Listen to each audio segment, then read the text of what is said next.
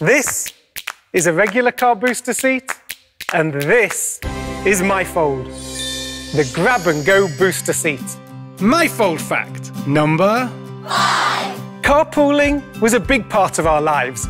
We always had boosters for our own kids, but not for the extras that came along.